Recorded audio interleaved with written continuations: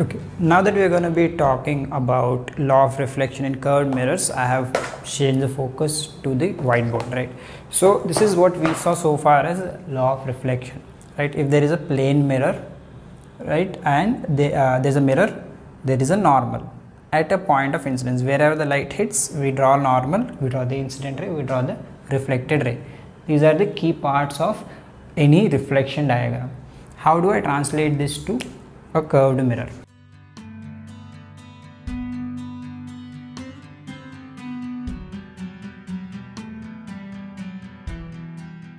So if I draw a curved mirror it will look something like this. Now uh, in this curved mirror I'm going to make it a concave mirror like this. Slightly curved to the inside. Now one thing I need to first decide is where is my point of incidence meaning where is my light going to fall? I'm going to assume this point over here is point of incidence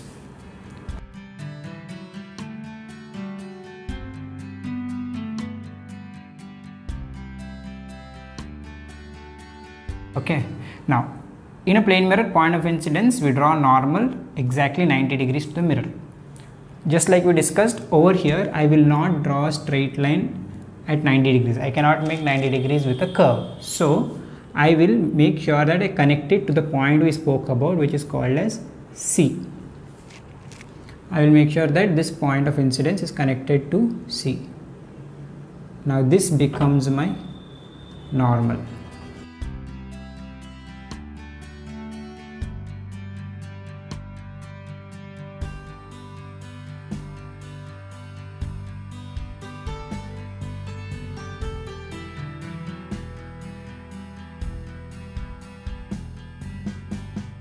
okay. Now normal is important because the angle of incidence and angle of reflection depend on the normal right? So i'm assuming a ray of light that comes like this right? It's coming from far away and hits the point here just like this incident ray. Okay this is the incident ray over here. So angle between incident ray and normal is angle of incidence. Incident ray normal angle of incidence.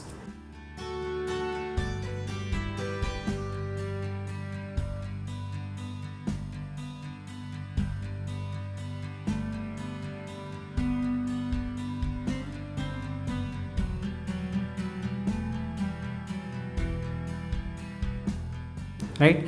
Similarly once it hits it bounces away with some reflection angle. Right? That reflection angle is between normal and reflected. So if it bounces back like this it is going to move in that direction. And so that is I. Let me write that clearly. Now this angle here between normal and reflected ray that is angle of reflection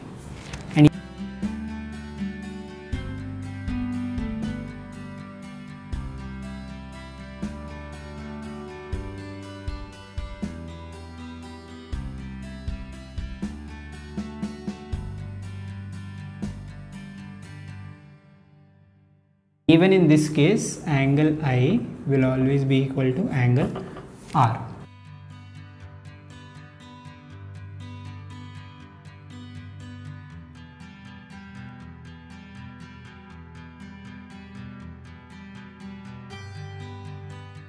The only difference is that the point C differs. Normally what we do, we don't write C in the air, we make sure we connect C to the mirror right? Just draw a straight line connecting C to the mirror.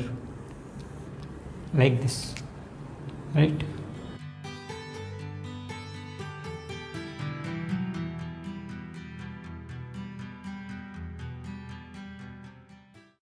Now wherever C meets the mirror this point is called as P or what we say pole right? So two points we know about one is center of curvature where all the normals will meet.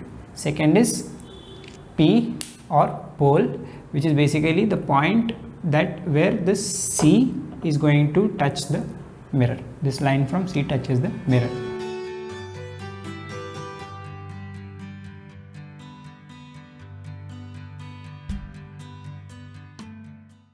Now this line is called nothing but my principal axis. Okay this is principal axis center of curvature and pole.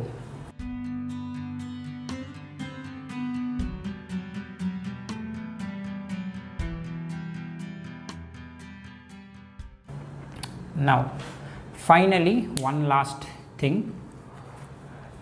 If you notice this ray of light that is coming it's parallel to this principal axis over here right? This line and this line are parallel right? If a light is parallel to principal axis once it hits the mirror it's going to come through and cut the principal axis. Do you see that?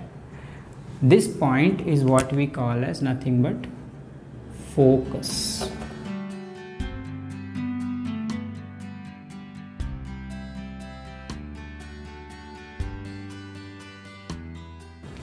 Okay so four things we have learned about c center of curvature. P pole. Uh, we have learned about f which is nothing but focus. And we have learned about principal axis.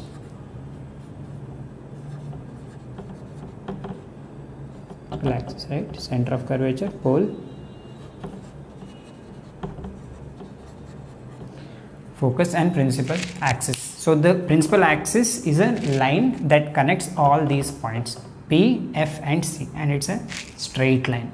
So this is the major diagram that you need to know. For every concave mirror that you draw, make sure you draw the mirror.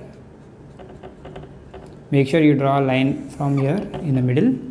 Make sure you first mark the pole. Then somewhere you will mark F and at the ending somewhere you will mark as C. Pole, focus, center of curvature and principal axis. Again normal connects to the pole, angle of incidence, angle of reflection. So the law of reflection is holding for these and we need to always keep in mind that these four points are majorly there for every concave mirror. It also applies for convex mirror in a slightly different way. For a convex mirror, I will, this is a convex mirror, right?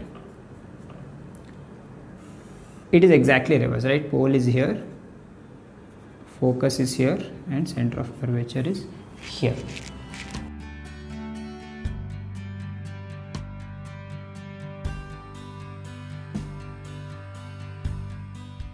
Right? So just majorly remember these two diagrams concave mirror and this is a convex mirror. So that concludes my lesson for the day that is understanding what is the law of reflection look like for a curved mirror and the basic diagram for these two curved mirrors. Majorly, we'll mostly study about concave mirror in the coming few classes.